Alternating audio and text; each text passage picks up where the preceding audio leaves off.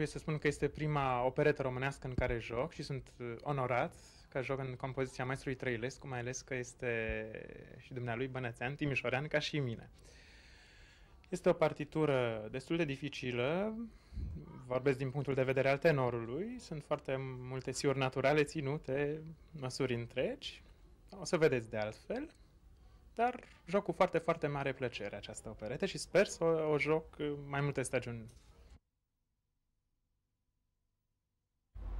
Sunteți una dintre prezențele constante și foarte apreciate ale Teatrului de Operetă Ion Dacian din București. De ce ați ales opereta? De ce am ales opereta? Mm, nu pot să spun că a fost chiar un lucru foarte, foarte premeditat. Am ales opereta pentru că mi-am dat examenul de licență în anul 1996 am dat uh, lucrarea de licență pe scena operete și am rămas în continuare ca solist al teatrului. Așadar a fost mâna destinului. Am putea spune și așa. Adeseori opereta este considerată poate un gen mai facil. Așa este sau e o opinie greșită? Facil, facil din ce punct de vedere nu, nu știu, dar uh, cred că un interpret de operetă este mai greu de format decât un interpret de operă. De ce?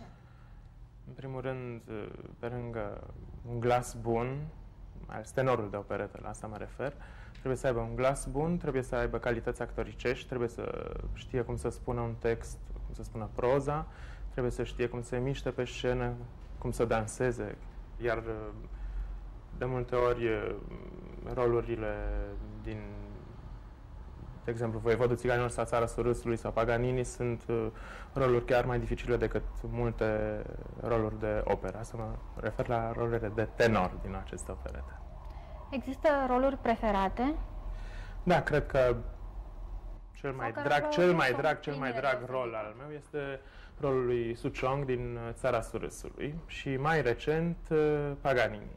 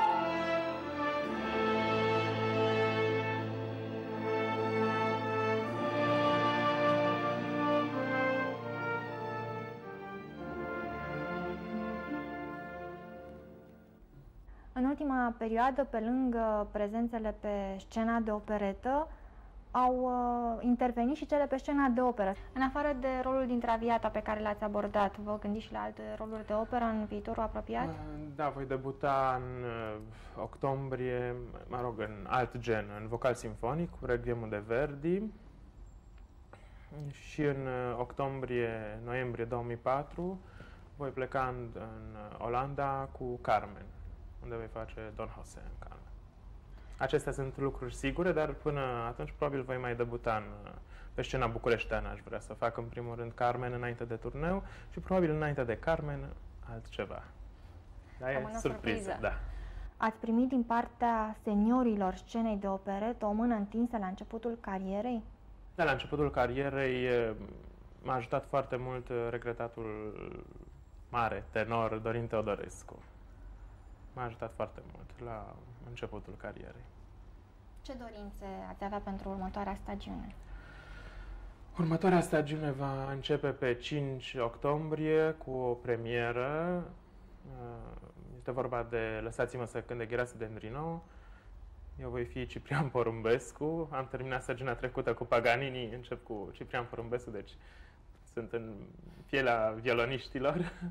Acum, după care eu voi pleca cu Regnul de Verdi în Olanda și probabil tot la operetă, probabil, spun, va fi o, o noapte la Veneția în această stagiune. Se ne-a pus în dragostea